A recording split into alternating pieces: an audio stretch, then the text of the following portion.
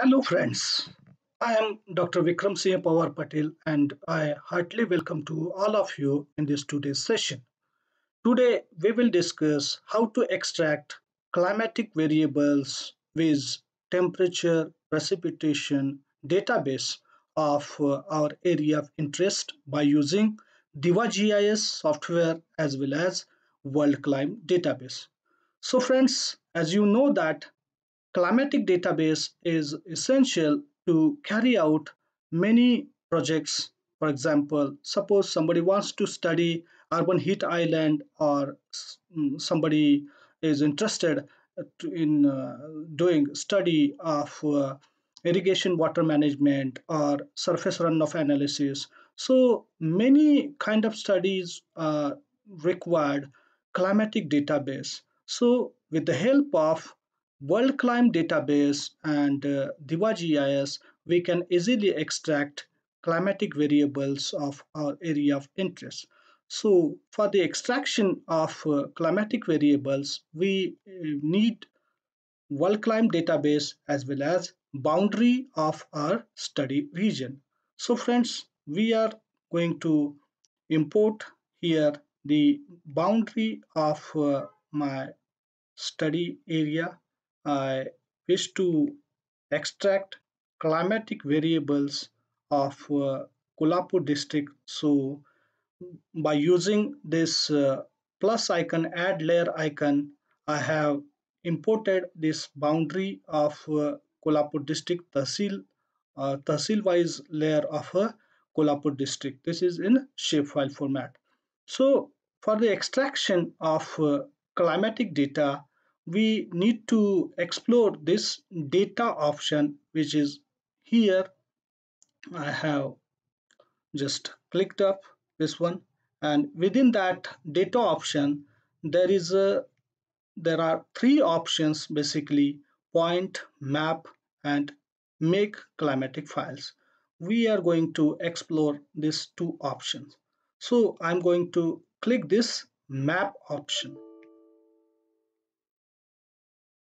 So here is the minimum x, maximum x, minimum y, maximum y that uh, xy coordinates we can assign or we can use this read from layer option for the analysis or we can draw the rectangle for the area of interest.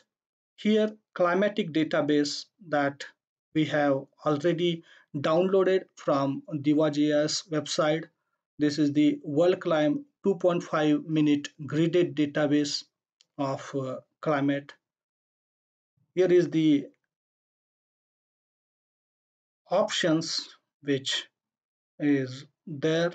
So if suppose we need to have precipitation database, so we can use this annual option period or uh, we could have this uh, January, February month-wise database.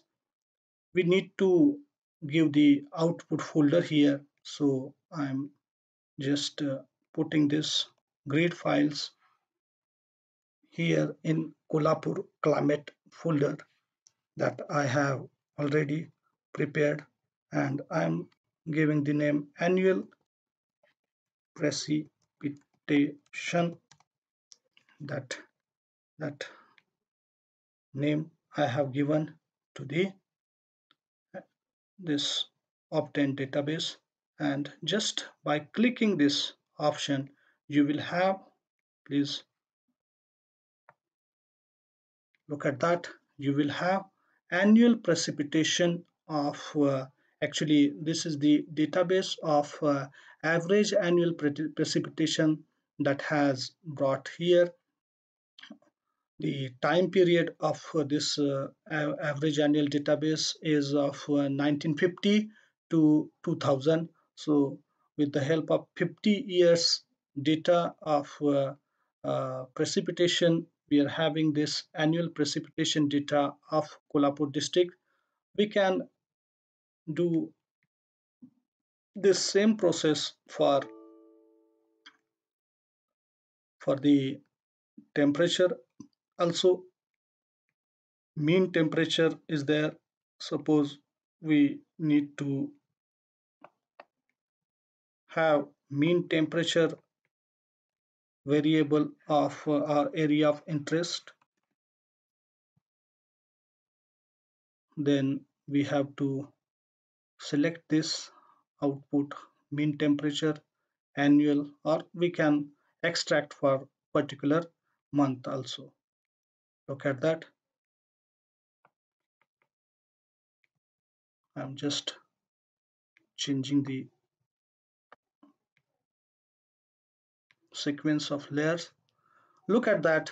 This is the annual temperature mean average annual temperature of uh, Kolhapur district.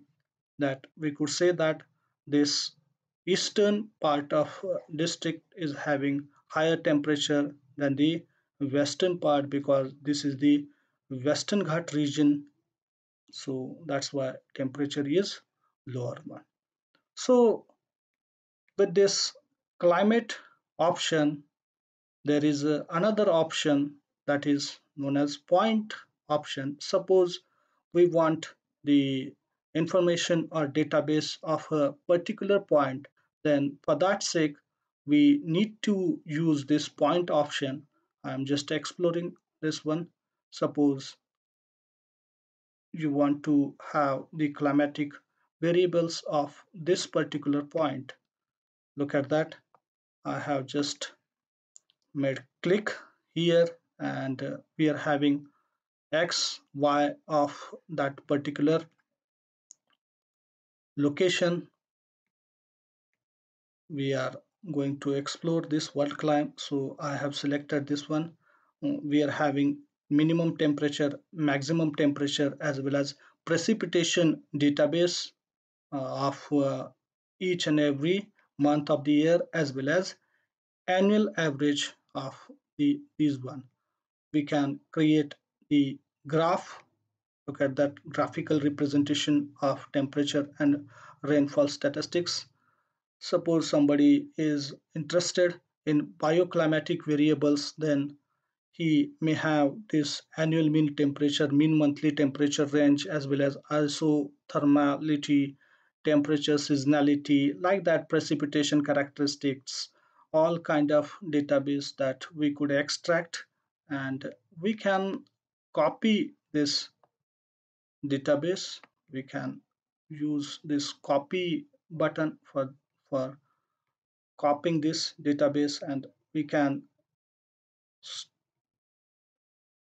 we can uh, put it for the further analysis. So friends, as this way, we could study climatic database by using world climate data as well as Diva GIS. So friends, if you like this video, then please subscribe my channel as well as share this video.